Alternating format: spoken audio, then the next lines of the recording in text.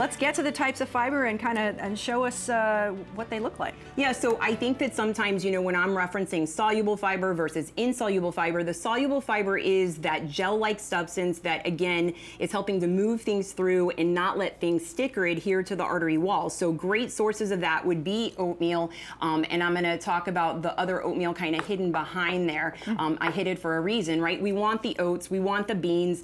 Apples are actually a really good source of mm. the soluble fiber as well. Um, so why did I hide this oatmeal? It's the instant oats. Why I hid it is because I can't have people eating instant oats, right? You come into your breakfast, you think you're doing a really great job. I'm eating oatmeal. It's going to be healthy for my heart.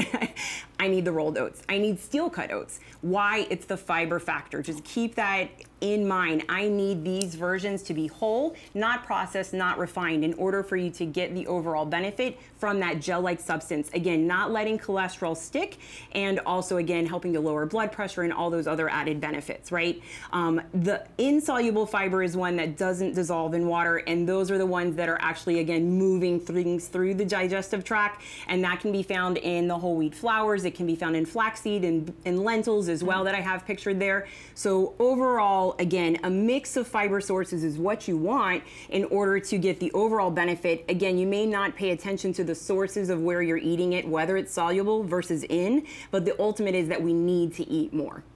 Okay, and uh, again, when you when we talk about soluble, it just means it's it's able to be broken down. Uh, just to, to kind of break that, explain that one more time when you talk about soluble. yeah, when you're looking at soluble, again, the soluble is the one um, that does dissolve in water. Okay, so if I said it right. backwards, I apologize. I'm lefty and I do those things sometimes, but the soluble is the one that dissolves in water, yeah. and so again, it's what forms the gel-like substance that again ultimately helps so things aren't sticking within the artery walls. Okay. Right, and that's really important. Begin again for cholesterol cholesterol issues, right? We don't want the cholesterol sticking. It keeps, it's like a transport system that it just keeps moving things through and allows for overall better health of the artery walls.